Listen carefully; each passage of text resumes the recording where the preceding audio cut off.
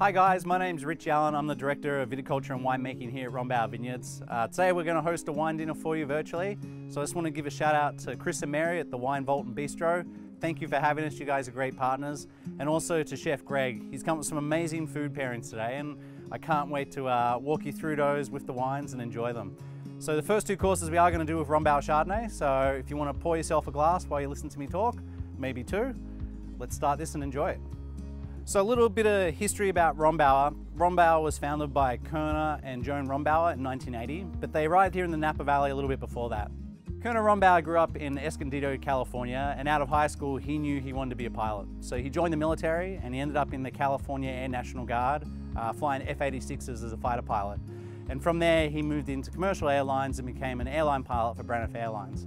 That rural setting where they grew up, they knew they wanted to be uh, with that with their family and so they were looking for an international airport where Koerner could fly out of on the Pan Pacific route but also be in a rural area and that's how they found the Napa Valley and they ended up here in 1972. They wanted somewhere they could raise their family, not lock their doors, ride their ATVs and their horses. But over time as Kerner got to know more of the growers, the local vintners, have dinner, they started to develop this relationship with the wine industry. By the mid 70s, they became partners in Conn Creek, and that was really Genesis. After a few years, they sold that partnership, and in 1980, they founded Rombauer Vineyards, and that was really the beginning. Many of you would know us for our flagship wine, which is Chardonnay, but what you might not know is that 1980, the first vintage was actually a Cabernet. This was a Stag's Leap Cabernet uh, from Carl Doumani's vineyard. It was crushed and fermented at Shafer and aged in Koerner's garage at the top of the hill here. In 1982, we added Chardonnay. In 1983, we added Merlot. It wasn't until 1990 that we added Zinfandel, and finally in 2014, we added our Sauvignon Blanc. So what many of you might not know is Koerner Rombauer's uh, connection with the culinary world is very special. It was his a great aunt, Irma Rombauer, that wrote The Joy of Cooking in 1931. And Koerner always wanted his wines to go with food, and he wanted them to taste good right off the bat. So now that we're talking about food, let's get into this first course. We're going to pair the 2018 Rombauer Carneros Chardonnay with the savoury crab bread pudding. Savoury crab bread pudding is a shellfish-based dish, which is one of our favourite things to pair with Rombauer Chardonnay. Any sort of crab meat uh, that's prepared in a full flavoured way that you're having tonight is going to stand up very well to the full flavour of Rombauer Chardonnay.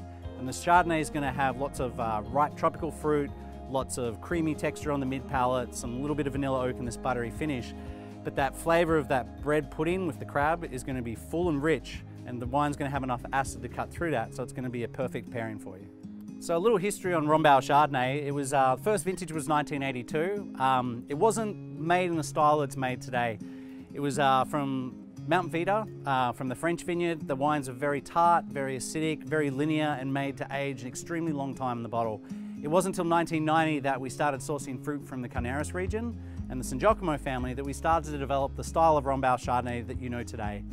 The wine is always rich and full. It's uh, the winemaking techniques that we use give you a very creamy mid palate, a lot of vanilla oak, a buttery finish, but the most important thing is this wine is all held together with acid. And if you don't have enough acid, the wine will fall apart on the palate. And that's why, even though we have all these different winemaking techniques to pair with that high quality fruit from Carneros, that acid is what allows the wine to still pair very well with lots of different food dishes. So the 2018 vintage down in Carneros, especially for white wines, was almost picture perfect. We had a beautiful long mild summer and a very long extended growing season. So we could really just pick each block of Chardonnay exactly when we wanted to to make the perfect wine.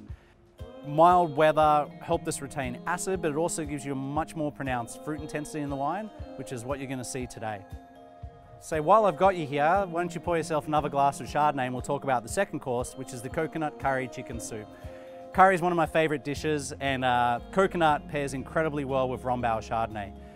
Because Rombauer Chardonnay is a fuller flavored, uh, fuller bodied wine, it can stand up to fuller flavored dishes. So coconut curry chicken soup with those spicy flavors, especially that coconut, but also the fat from the chicken is going to pair very well with the Chardonnay. That coconut is actually a very similar flavor to what we see in the barrels that we use for Chardonnay. So there's a synergy there between the dish, but there's also this opposing fat and acid of the wine. And when those two are paired together, you're going to have a great texture and flavor on the palate that you'll enjoy for the whole course. So let me orient you to where we are today. We are here in front of our iconic cave door here at Rombauer Vineyards, amongst our beautiful gardens here at the original winery. We're actually closed now. We're hoping to open up again soon and I'm hoping that you'll all be able to join me for a glass of Chardonnay up on our deck and enjoy the view of the Napa Valley. So Koerner always believed that we should control as much of the fruit sourcing as we could, but in the early days we couldn't afford to purchase vineyards. So it wasn't until 2002, 22 years after we founded the winery, that Koerner purchased his first vineyard. And that was our Buckley Station vineyard down in Carneros. It's at the southern tip of the Napa Valley, and it's where we source most of our high-end Chardonnay and where we first start picking nearly every year. So in 2003, Koerner purchased his Atlas Peak vineyard up at 1600 feet on Atlas Peak. That was followed by our Stice Lane vineyard on the south side of St. Helena in 2005. And in 2010, we purchased our Bennett Lane vineyard in Calistoga. Having these vineyards the length and breadth of the Napa Valley allows us to blend in different ways every year to ensure we have a consistent Cabernet year in, year out. In 2011, we purchased our first Zinfandel vineyard, and this was the Twin Rivers vineyard in El Dorado County. This was a vineyard that we'd worked with for a long time, but it didn't come up for sale until 2011. And in 2013, we added our new premier Chardonnay ranch, DeVito, in the Carneros region. So Rombauer Vineyards is a family-owned uh, company. We have the second and third generations working for the winery today. And the hope and uh, belief is that the family will continue to run Rombauer for many generations to come. So we've been talking a lot about white wines, but now it's time to start on the red wines in the next two courses. I'm standing here in front of our iconic cave door where we age all of our red wines. So let's go for a little walk and we'll show you what it is. So if you've been to Rombauer before, you've probably come this far and seen the cave door. Today, we're going to go past the cave door and show you where the wines are aged. These caves were built in the early 90s and they're 100% natural in terms of temperature and humidity. So it's perfect for aging and cellaring wine. So here we are today in our caves. These were built or finished being constructed in the mid 90s. It's about a third of a mile in terms of linear feet, and we can hold about two and a half thousand barrels. What's really nice about the caves is that it's a natural uh, ambient temperature of 65 degrees with about 80% humidity, which is perfect for aging wine. We don't have to use any energy to be able to do that. It's totally natural. So in this particular section of the caves, which is the five-way intersection, we're about 30 feet under the tasting room, which is directly above us. And you can see we have all of our 2019 Cabernet and Merlot behind me, aging away in perfect conditions. Your third course this evening, you guys have Texas style brisket with bacon braised greens. Um, this is actually my favorite pairing on the menu. We're gonna pair it with our new, newly released 2018 Zinfandel.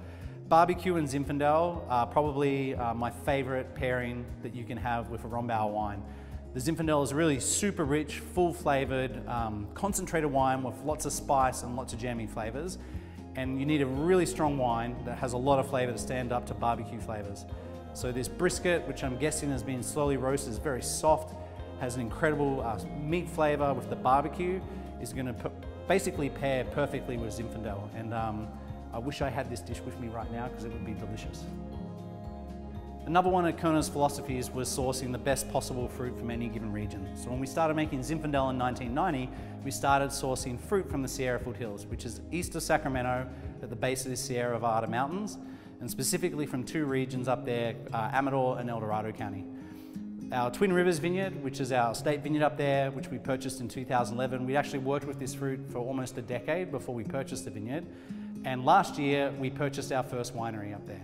The whole idea behind having a second winery up there is to make the wine as close to the vineyard as possible to protect the quality. So if you're ever up in Amador County, east of Sacramento, uh, we now have a second Rombauer tasting room up there, which we'd love you to visit.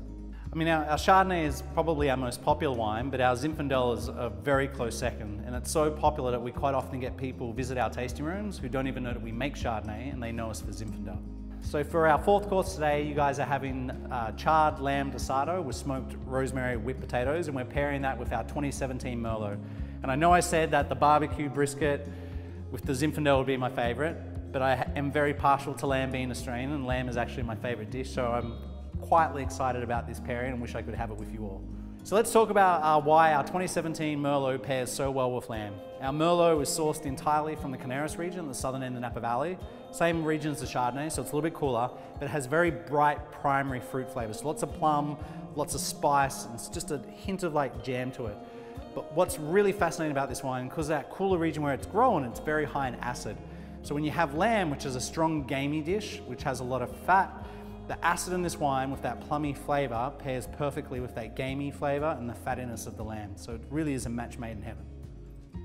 All of our wines are hand picked and hand sorted in the vineyard, but with the red wines we go one step further and after they're destemmed, we actually optically sort. So what that is, is the belt, as the berries come across the belt at high speed, we use a high speed camera at 1,000 frames per second to photograph every berry.